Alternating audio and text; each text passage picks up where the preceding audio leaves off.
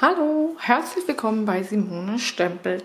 Heute möchte ich euch zu unserem achten Technikblock eine Karte vorstellen. Und zwar dieses hübsche Modell. Und das hat einen ganz besonderen Effekt. Und zwar nennt sich das Triple Quadrat Faltkarte. Und die hat eine Kollegin gemacht und sie heißt Gabi Carton. Vielleicht spricht mir das auch etwas anders aus, aber auf dem Blog habe ich nochmal ihren Namen. Genau, und da hat sie auch Magnet genommen, dazu genommen. Ich habe allerdings ein paar Sachen abgeändert. Ja, und hier drin habe ich Größe drin und auch da unten. Sie hat Papier genommen, ich habe jetzt Folie dafür verwendet. Ja, ich habe es noch nicht so lange drauf, deswegen werde ich das nochmal wieder drauf machen, damit es leichter auseinander geht. Und dazu nehmen wir natürlich den Tropenflair mit den Sinlitz dazu, Tropical Sinlitz. Ja, da der wunderschöne Produkte mit fertig machen, der jetzt in den Urlaub geht, nach Hawaii, wer weiß dass ihr so tolle Sachen erlebt. Und zwar habe ich die Farben genommen. Blutorange, in dem Fall die Grundkarte. Ich hatte hier zwar Amethyst genommen, jetzt nehmen wir mal die rote. Also einmal Blutorange, dann Flüsterweiß natürlich, der Aufleger. 10 mal 14 vielleicht glaube ich nehme mal lieber meine Leal, das habe ich jetzt nicht auswendig. Das nochmal da drauf, genau. 14,23 ungefähr. Und das sind 10 cm. Guck mal, 5 bis 6 mm kleiner als die Karte selber. Die aber da. Dann, da habe ich mir jetzt die anderen Maße aufgeschrieben. Ihr braucht einmal ein großes Teil. Das habe ich in dem Fall da ja was in Blutorange. Jetzt habe ich dafür Amethyst genommen. 7,6 mal 7,6 cm oder 3 mal 3 Inch. Einmal. So, und dann 3 mal 7,3 mal 7,3 cm. In Inch wären es 3 ein Sechzehntel mal 3 ein Sechzehntel Inch. Und ich habe sie auch schon vorbereitet. Einmal grün, dann auch in dunkelgrün und ausgestanzt, so dass wir da diesmal etwas schneller loslegen können, als ich vorbereitet habe. Da, zweimal die Folie, da in dem Fall 6,5 mal 6,5 cm und hier ist 3 ein Sechzehntel mal 3 ein Sechzehntel, äh, 2 3 Sechzehntel mal 2 3 Sechzehntel Inch. Ja, das sind die Sachen, die ihr braucht. Und natürlich auch noch Blüten. Und hier hinten habe ich auch noch Blätter.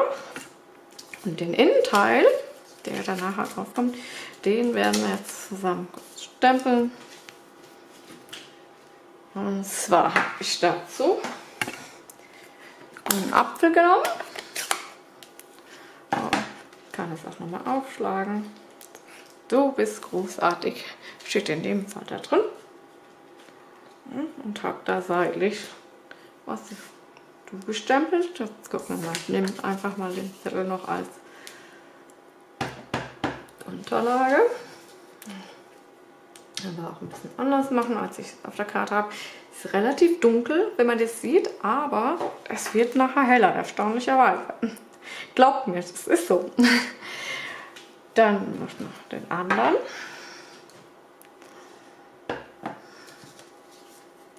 Ja. Hier oft mal so ein bisschen übernehmen.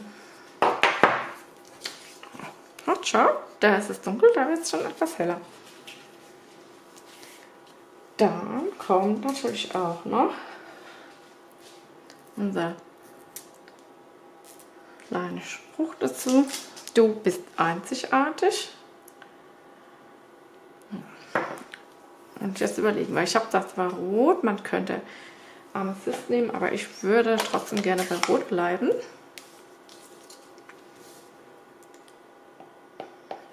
Unsere neuen Kissen. Jetzt müssen wir schauen, ob es richtig ist. Und auch noch mal gerade hin.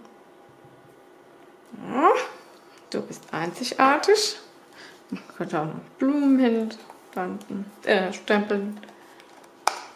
Ich habe es in dem Fall nicht gemacht. So, dann mal alles zumachen und jetzt bunt.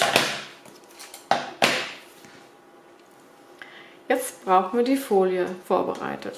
Ja, zweimal. Nochmal eine Seite. Also Papierschneider und Falzgerät. Der denkt, ihr wisst dran, das ist der Schneider. Bitte nach unten und unser Falzteil. Also eine Folie. Am besten, wir fangen mit den Schrägen an, direkt die Ecken in, dem, in der Rille rein, wo ihr ja falzt.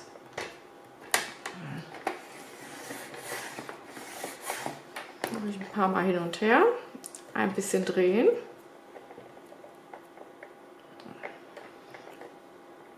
Fällt jetzt erstmal nicht so auf. Es ist trotzdem leichter zu halten. So, und dann nehmt ihr euch die Folie, Ecken aufeinander und drückt es runter.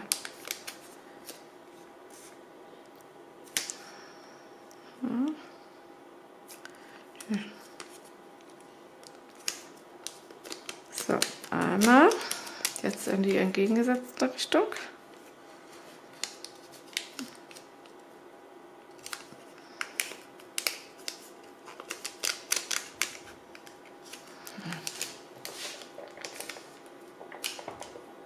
Könnt ihr auch auflegen. Und jetzt habe ich so gefallen. Jetzt muss ich das Ganze umdrehen und mache dann den Innenteil. Das heißt, bei 6,5, da ist ja auch schon meine Ecke. Ist ja 3,2 in etwa. Aber da habt ihr eure Spitze, die legt ihr am besten rein auf den Falz. Und das andere genauso andersrum. Entscheidend dabei ist, wenn ich das so ähm, in der Spitze drehe, muss ich das andere genau umgekehrt machen. Das heißt also in die Richtung.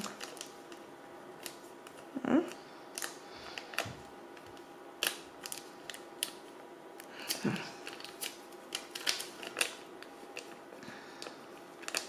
Einmal. Zweimal.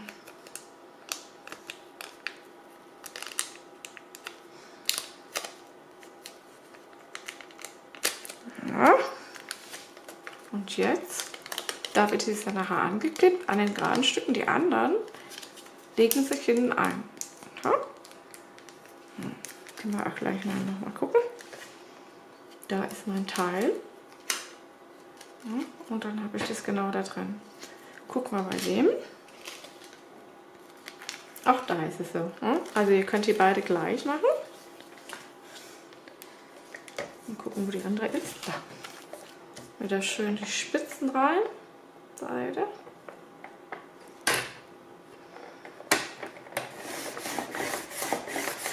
Ja.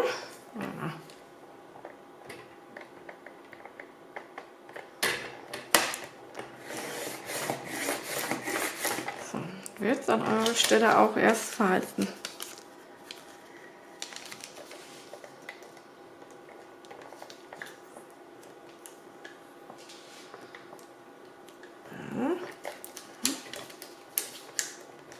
Falten und aufhalten.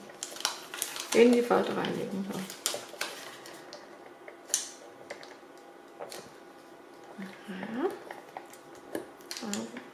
Also ich merke, ich habe gefalzt, es ist dann leichter.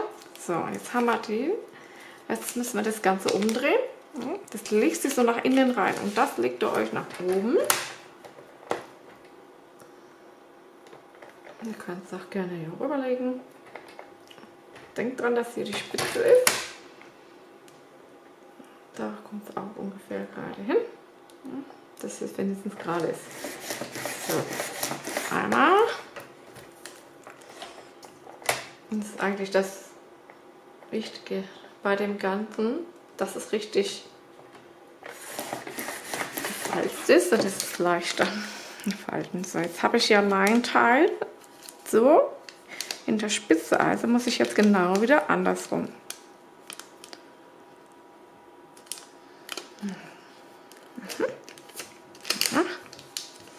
Natürlich mit Folie kann man das wahrscheinlich nicht so leicht sehen. Aber ich denke, ihr versteht schon, was ich meine. Okay, haben wir die beiden Teile fertig. Gucken wir uns das Modell hier an. Das ist leichter, gleich daneben. Den jetzt müssen wir ein bisschen schauen. Die Frage, machen wir das genauso von der Farbe her oder andersrum? Also ich denke, wir nehmen das hellgrüne auch nach oben. Tappe ich das Teil dann gucken Sie, was genau wir machen. Und da könnt ihr auch mal umdrehen, je nachdem, wie ihr das wollt. So, legt euch das ein, damit ihr wisst, wo ihr seid. Und zwar bei dem jetzt auf dem unteren.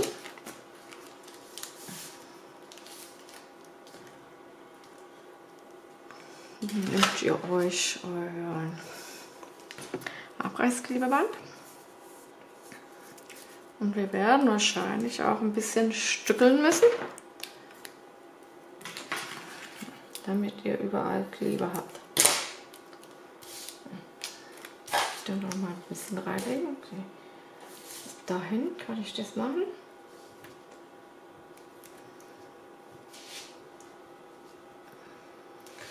Ein bisschen heißt jetzt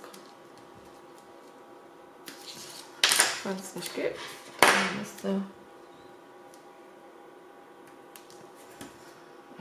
So. Auch bis in die Ecke rein, damit es schön klebt.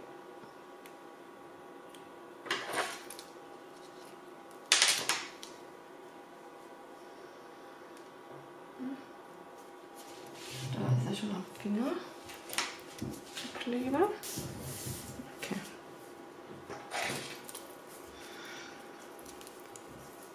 Man könnte noch mal so einen Streifen dazu machen.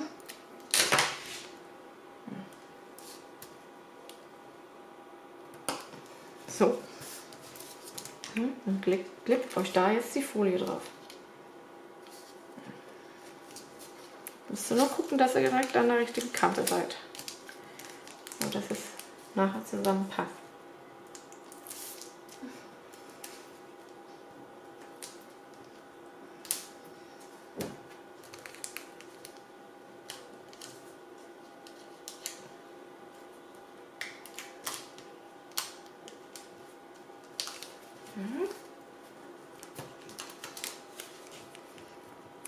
Okay, das ist die eine Seite.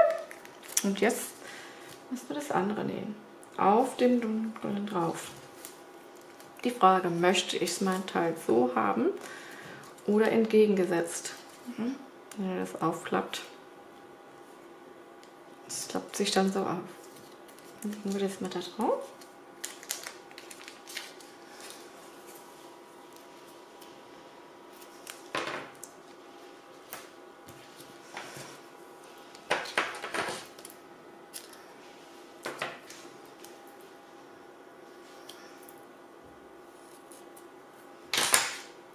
Da in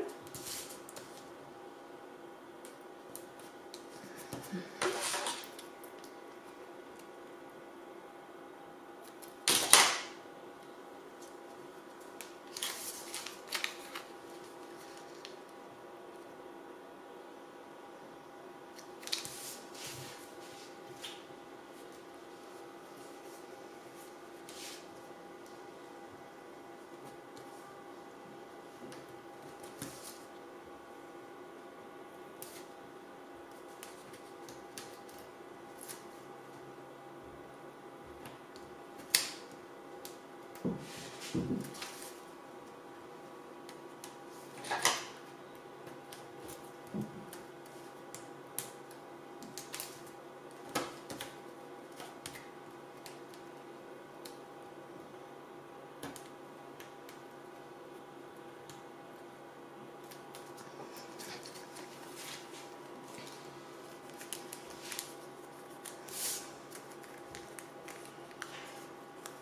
Ja.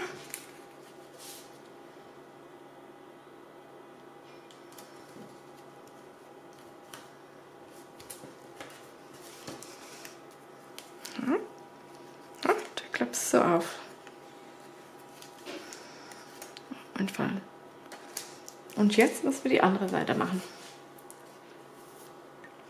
Gut.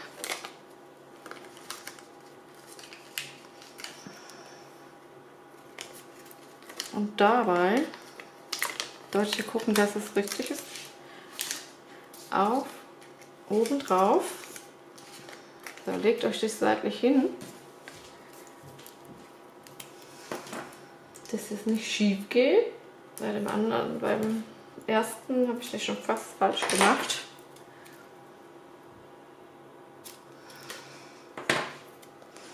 So ein Modell ist dann doch leichter zu haben. Nachbasteln.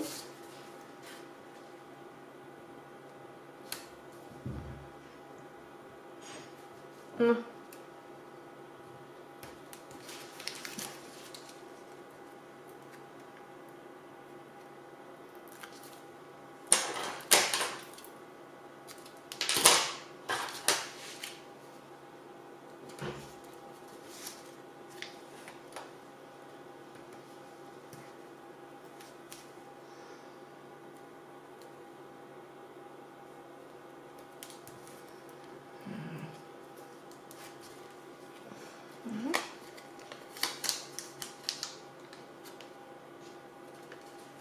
Okay, so ist mein Modell. Aber ich muss von innen rein.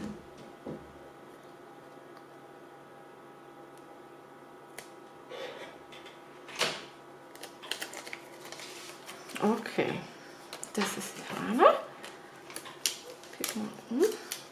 Und da kommt jetzt mein weißes rein. Und das so hinlegen.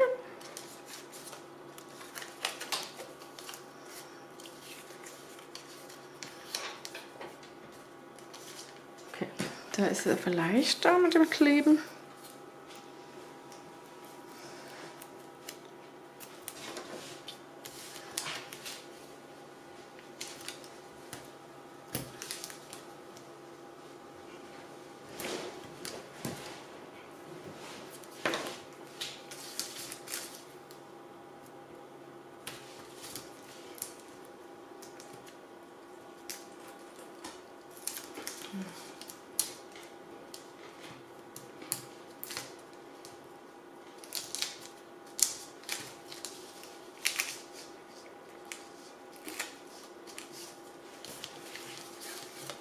So, gucken, dass er auch die Ecke richtig reinbekommt.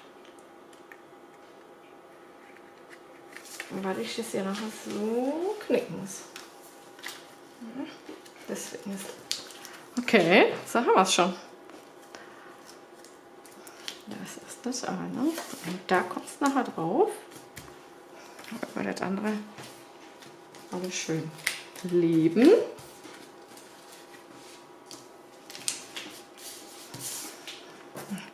Und zwar habe ich dazu auch noch ein Band genommen.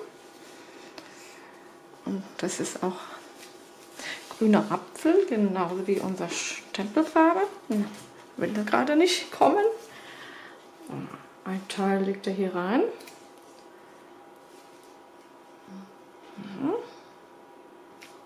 Und da noch mal so ein Stück rum. Jetzt gucken wir mal, wie viel Zentimeter wir haben. Es steht gar nichts drauf. Geodreieck. So circa 17 bis 18 cm. Dann braucht er dafür.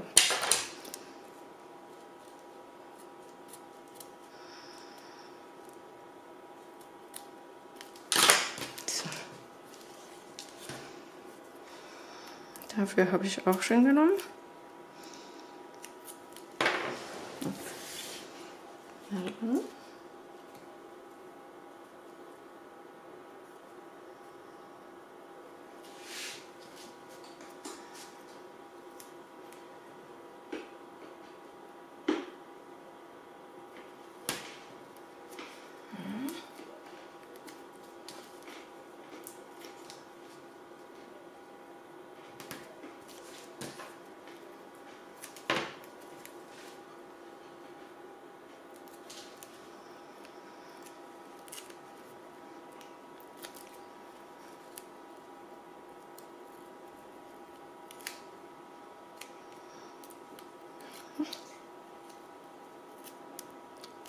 So.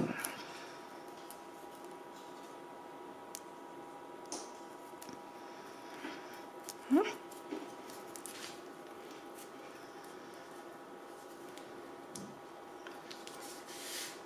Und das kleben wir uns jetzt drunter.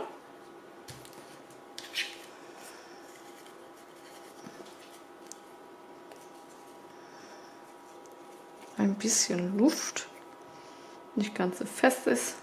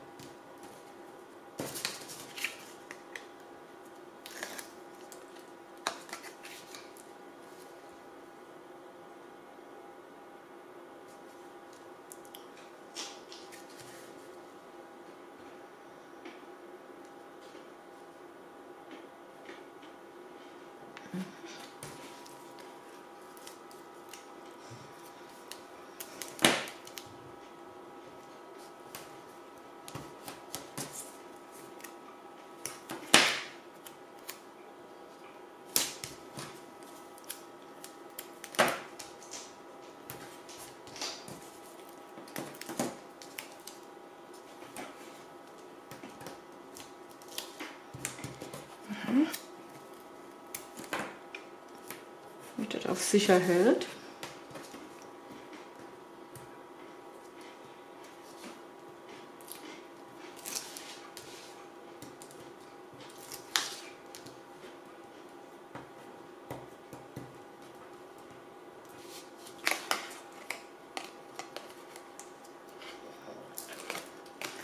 Na, heute bin ich nicht, irgendwie nicht so fit mit. So, Karte. Auch da brauchen wir noch Kleber.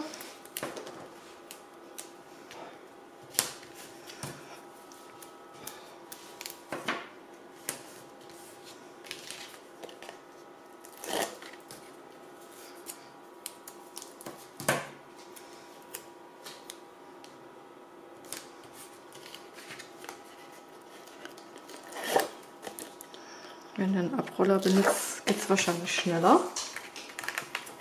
Aber ist meiner gerade leer. Und der andere ist gerade unterwegs. Stellung. So.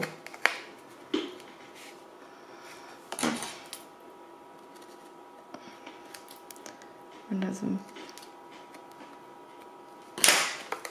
klebt ihr euch das auf. Ja, ungefähr machen wir mit dem anderen.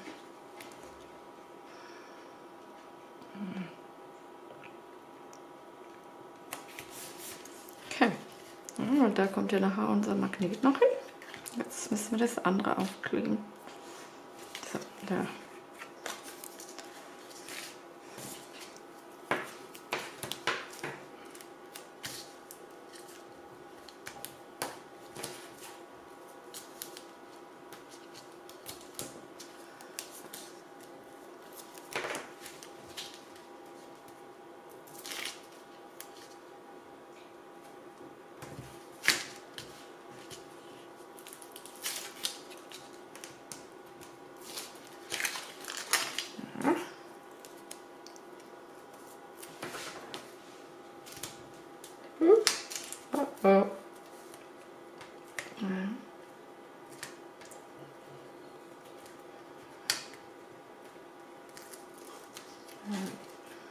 Wenn ihr den abmacht, könnt ihr es noch überlegen. Habt. Dann passiert nichts. Einschlagen. Dann liegt euch diese schon rum.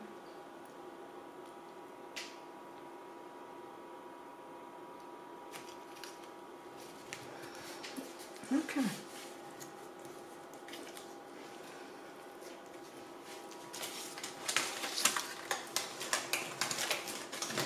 Magnet. Ich habe jetzt 10 mm. Ich habe es in dem Fall auf den Band zuerst geklebt.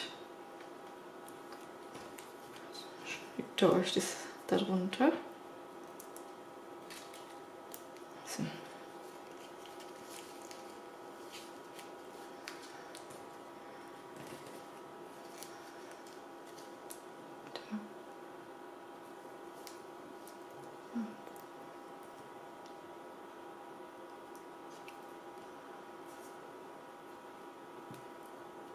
Okay, jetzt machen wir noch ein bisschen Deko drauf.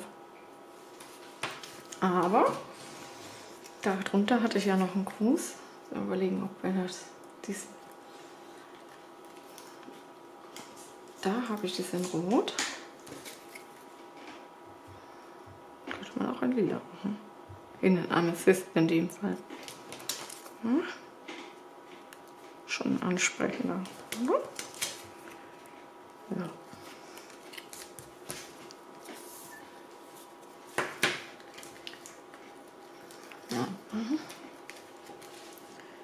Und jetzt brauchen wir das Mies. Und wieder drauf kleben.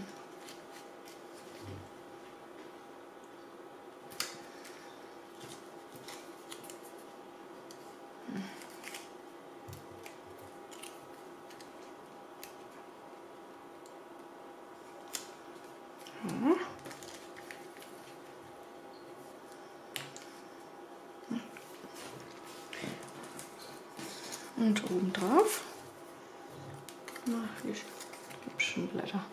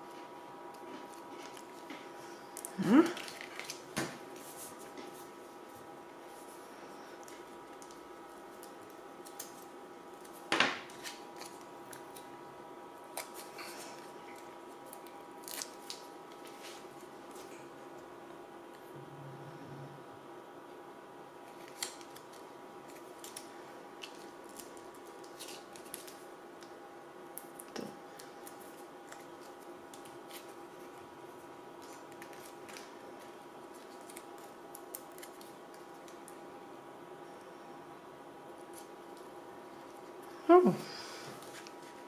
Schon fertig.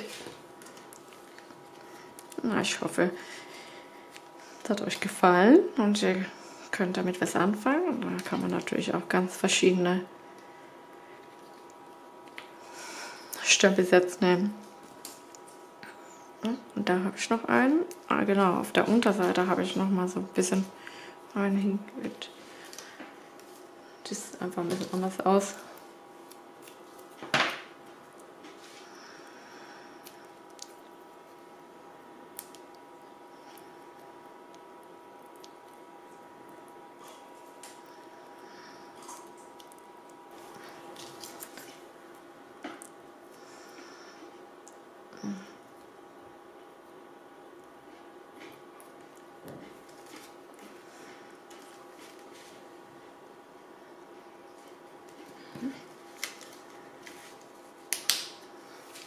Ja, ich, wie gesagt, ich Ich hoffe, es hat euch gefallen und äh, kommt mich wieder besuchen.